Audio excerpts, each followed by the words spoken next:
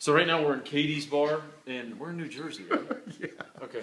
And what's really cool is Aaron and I are investigating this bar, and uh, Glasses are supposedly thrown off. We've seen the videos on YouTube. yeah, but Nick, Bill, Chapel, and Bill, our audio visual tech, are investigating the mansion over in Manhattan.